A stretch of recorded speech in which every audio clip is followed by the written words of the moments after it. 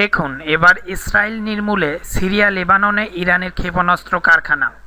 Iran সরকার ইসরায়েলকে নির্মূল করতে সিরিয়া ও লেবাননে ক্ষেপণাস্ত্র উৎপাদন কারখানা স্থাপন করেছে বলে অভিযোগ করেছেন ইসরায়েলের প্রেসিডেন্ট বেনিয়ামিন নেতানিয়াহু।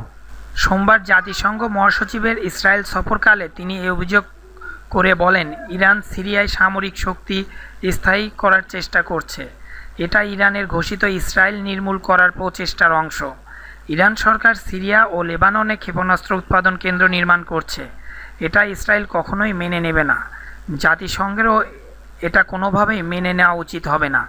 তবে জাতিসংঘ মহাসচিবের কাছে নেতানিয়াহুর এ নালিশের ব্যাপারে ইরানের পক্ষ থেকে এখনও কোনো প্রতিক্রিয়া জানানো হয়নি। প্রসঙ্গত, বর্তমানে ইসরায়েলের প্রধান শত্রু ইরান।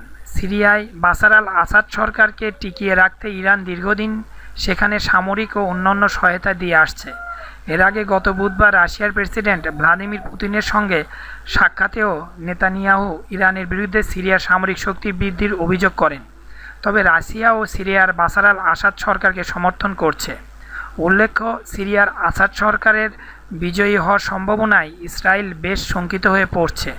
তাদের ধারণা, আসাদ সরকারের বিজয় হলে ইরান সেখানে স্থায়ীভাবে সামরিক ঘাঁটি স্থাপন করতে পারে। একই সঙ্গে ইরান লেবাননে হিজবুল্লাহকে সরাসরি সাহায্য দেওয়া শুরু করবে বলে শঙ্কা ইসরায়েলের। For latest news please subscribe my channel thank you everybody